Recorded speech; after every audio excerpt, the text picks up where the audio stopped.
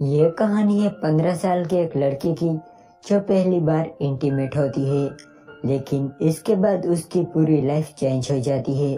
Hello दोस्तों, आज हम एक्सप्लेन करने वाला है 2005 में आई एक इटालियन मूवी जिसका नाम है मेलेसा बी मूवी स्टार्ट होती है और हम 15 साल की मेलेसा को देखते हैं। मेलेसा अपनी मोम और अपनी ग्रैंड मदर के साथ रहती थी। मेलेसा और उसकी मॉम की आपस में ज़्यादा बनती नहीं थी। इसीलिए वो अपनी ग्रैंड मदर के बहुत करीब थी। उसकी ग्रैंड मदर को सिगरेट पीने की आदत थी। इसीलिए उनकी तबीयत अक्सर खराब रहती थी। एक सुबह मलिशा खुद को टच कर रही थी, लेकिन तभी उसकी मोम आ जाती है और वो खुद को रोक लेती है। फिर मलिशा डेनियल के घर जाती है। डेनियल मलिशा का क्लासमेट था और आज उसके घर पार्टी थी। आज वो नर्वस थी, क्योंकि वो डेनियल को बहुत पसंद करती थी, पर डेनियल ने उस पर कभी ध्यान ही नहीं दिया। डेनियल के घर कई दोस्त स्विमिंग कर रहे थे। ये देख के मलेसा भी स्विमिंग करने जाती है। जब वो उनके पास जाकर बैठती है, तब डेनियल उसे पानी में खींच लेता है। पर मेलेसा को स्विम करना नहीं आता था। जब इस बात का पता डेनियल को चलता है, तब वो उसे पकड़ के किनारे तक ले आता है। और फिर मेलेसा से कहता है कि आओ तुम्हें कुछ दिखाता हूँ। ये सुन के मेलेसा डर जाती है कि क्या दिखाएगा, पर वो गार्डन दिखाता है। अब यहाँ डेनियल मेलेसा से कहता है कि मैं तुम्हें स्विमिंग करना सिखाऊँगा, पर इसके लिए तुम्हें हर रोज यहाँ अकेले आना होगा। ये सुन के मेलेसा खुश हो जाती है और उसे हाँ कर देती है। इसके बाद ये दोनों बैठ के बातें करने लगते हैं। जहाँ मेलेसा डेनियल को बताती है कि वो अभी भी वर्जिन है। मेलेसा की बातों से डेनियल को पता चल जाता है कि मेलेसा उससे प्यार करती है तो वो इस चीज़ का फ़ायदा उठाता है और मेलेसा भी मना नहीं करती, क्योंकि वो उसे बहुत पसंद करती थी। मेलेसा की छुट्टियाँ अब खत्म हो गई थी और आज उसका स्कूल में पहला दिन था, जहाँ स्कूल में मेलेसा डेनियल का वेट करती है, पर वो नहीं आता। असल में उस दिन के बाद डेनियल कभी मेलेसा से मिला ही नहीं, और ना ही कभी उसने कॉल किया था। मेलेसा की दोस्त मेलेसा को बताती है कि तुम उसे भूल जाओ, पर वो उसकी बात नहीं मानती। वो अपनी बुक में डेनियल के बारे में लिखती है कि वो कभी उसे माफ़ नहीं करेगी। कुछ दिनों बाद मेलेसा के फ्रेंड मेलेसा को बताती है कि डेनियल एक क्लब में है तो वो दोनों उस क्लब में जाते हैं। जहाँ कई दिनों बाद मेलेसा डेनियल को देखती है। डेनियल भी उसे देख लेता है और उसके पास आता है, जहाँ वो उसे कहता है कि अब तुम काफ़ी बड़ी हो गई हो। इसके बाद वो उसे ड्रिंक ऑफ़र करता है। तभी वहाँ डेनियल का एक दोस्त आता है और वो मेलेसा की तारीफ़ करने लगता है। ये सुन के डेनियल भी मेलेसा की तरफ़ अट्रैक्ट हो जाता है और उसे कहता है कि वो उसे अकेले में बात करना चाहता है। तो मेलेसा भी उसके साथ चली जाती है। डैनियल उसे अपने घर ले जाता है, जहाँ वो दोनों इंटीमेट होते हैं। मेलेसा कहती है कि वो उसे प्यार करती है, लेकिन डैनियल उसे कहता है कि तुम पागल हो क्या? दरअसल डैनियल बस उसका फ़ायदा उठाना चाहता था। इस इंसिडेंट के बाद मेलेसा पूरी तरह से बदल जाती है। डैनियल ने उसे बहुत हर्ट किया था, इसीलिए वो डिसाइड करती है कि वो भी लोगों के साथ ठीक ऐसा ही करेगी। वो खुद से वादा करती है कि अब वो भी किसी के फीलिंग्स के बारे में नहीं सोचेगी। अब इसके बाद मेलिसा की ग्रैंड मदर की तबीयत अचानक खराब हो जाती है। इसीलिए मेलिसा की मोम उन्हें हॉस्पिटल में एडमिट कराना चाहती थी। पर यह मेलिसा को गलत लग रहा था। उसे लग रहा था कि उसकी मोम उसे उसकी ग्रैंड मदर से दूर करना चाहती है। इस बात पर मेलिसा और उसकी मोम की बहस हो जाती है।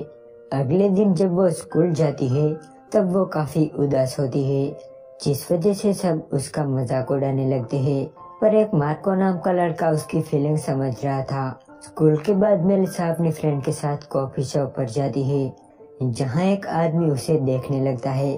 तब मेलिसा उसकी फ्रेंड से कहती है कि देखो कैसे वो उसको अट्रैक्ट करेगी। जैसे ही वो आदमी उनके पास आकर बैठता है, वो उठकर वहाँ से चली जाती है। उसने ये तय किया था कि अब वो बस लोगों की फीलिंग्स के साथ खेलेगी।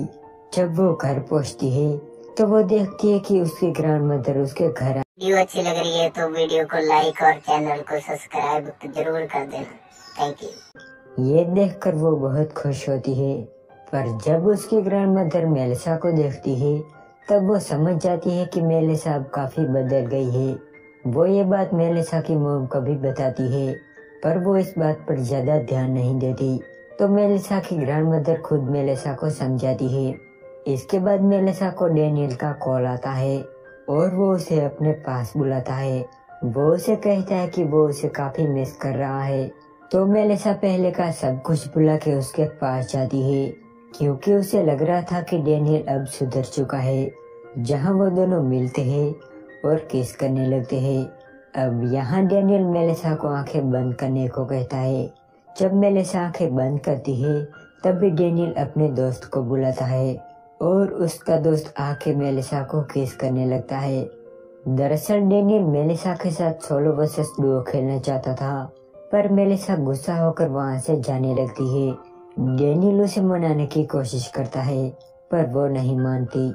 लेकिन कुछ देर बाद मेलिसा उसके दोस्त को किस करने लगती है और वो सोलो वर्सेस डुओ के लिए मान जाती है। ऐसा करके या तो वो डेनियल को चलाना चाहती थी, या फिर वो इस चीज़ को ट्राई करना चाहती थी। अगले दिन वो ये सारी बातें अपने फ्रेंड को बताती है। ये सुन के उसकी दोस्त उसे डांटती है और उसे ऐसी चीज़ों से दूर रहने को कहती है। पर मेलेसा को इन सबसे काफ़ी खुशी मिली थी और वो एडल्ट साइट पर अपना अकाउंट ओपन करती है, ताकि वो अपनी बातें सबके साथ शेयर कर सके। एक दिन स्कूल में उन्हें साइंस म्यूज़ियम में ले जाया जाता है। जब वो वहाँ बैठी होती है, तभी उसके पास एक आदमी आके बैठता है, जो उसी म्यूज़ियम में काम करता था। अब यहाँ मेलिसा उसके साथ इंटीमेट होती है। मेलिसा अपनी सारी प्राइवेट बातें अपनी बुक में लिखती थी। जब एक दिन वो स्कूल जाती है, तब वो देखती है कि उसकी प्राइवेट बुक सब पढ़ रहे थे। ये देख के उसे बहुत गुस्सा आ जाता है और वो उसकी फ्रेंड को बहुत डांटती है। जब वो घर जाती है, तब वो देखती है कि उसकी ग्रैंड मदर को अपना जीवन साथी मिल गया है। ये देख के उसे भी अंदर ही अंदर ऐसा फील होता है कि काश उसे भी कोई ऐसा मिले जो उसे बहुत प्यार करे। अगले दिन स्कूल के बाद जब मेलेसा घर जा रही थी, तभी पीछे से उसकी फ्रेंड आती है और उसे उस चीज़ के लिए माफ़ी मांगती है, पर मेलेसा उसे इग्नोर कर देती है। वहीं पास ही एक लड़का मेलेसा को देख रहा था। उसका नाम मार्को था और वो मेलेसा को बहुत पसंद करता था, पर मेलेसा ने उसे कभी ज़्यादा भाव नहीं दिया। मार्को उसे बात करने के लिए उसके पास आता है, पर तभी मेलेसा को डेनियल के फ्रेंड का कॉल आता है और वो उसे मिलने के लिए बुलाता है। जब मेलेसा उसे मिलने जाती है, तब वो उसे एक बंकर में ले जाता है। पहले तो मेलेसा मना कर देती है, पर वो उसे किसी तरह से मना लेता है। वो उसकी आँखों पर पट्टी बाँध के उसे बंकर के अंदर ले जाता है। जहाँ और भी लड़के थे, वो सब भी मेलेसा को किस करने लगते हैं। मेलेसा भी उन्हें मना नहीं करती और सबके साथ एक के बाद एक इंटीमेट होती है। ये सब भी वही लड़के थे जो उस दिन डेनियल के स्विमिंग पूल में थे। जब वो स्कूल जाती है, तब सभी स्टूडेंट उसे ही देखने लगते हैं और उसका मज़ाक उड़ाने लगते हैं। पर मेलेसा अंदर ही अंदर सोचती है कि जो उसने किया है, उसे उस बात का कोई पछतावा नहीं है, और वही सही है। एक दिन मेलेसा की मम मेलेसा के कमरे में जाती है, जहाँ वो उसकी डायरी पढ़ लेती है, और इसके बाद वो मेलेसा के बारे में सब कुछ जान गई थी। वो मेलेसा को कॉल करती है, पर वो कॉल नहीं उठा रही थी। दरअसल वो एक आदमी के घर गई हुई थी। मेलेसा की मोम ये बात मेलेसा की ग्रैंड मदर को बतानी चाहती है, पर वहाँ जाके उसे पता चलता है कि वो अब इस दुनिया में नहीं रही। ये सुन के उसे बहुत हर्ट होता है। जब मेलेसा वापस आती है, तब उसकी मोम उसे उस डायरी के बारे में पूछती है। तब मेलेसा कहती है कि हाँ ये सब सच है। ये सुन के उसकी मोम को बहुत हर्ट होता है। उसे अब पछतावा हो रहा था कि वो उसका ख्याल नहीं रख पाई। वो उससे माफ़ी भी मांगती है। तो वहीं दूसरी तरफ़ मेलेसा को भी अब गिल्टी फील होता है। और वहीं से वो अपनी गंदी आदतों को छोड़ने का फैसला करती है। कुछ टाइम बाद जब वो स्कूल जाती है, तब वो देखती है कि डेनियल अपने दोस्त से लड़ रहा था, क्योंकि उसी की वजह से मेलेसा सभी लड़कों के साथ इंटीमेट हुई थी। तभी डेनियल मेलेसा को देख लेता है और उससे बात करने की कोशिश करता है। पर अब मेलेसा उसे जरा भी भाव नहीं देती एंड में हम देखते हैं कि मेलेसा की लाइफ अब चेंज हो गई थी। वो अपनी मोम के साथ बहुत खुश थी और अपनी लाइफ को जी रही थी और यहाँ ये मूवी एंड हो जाती है।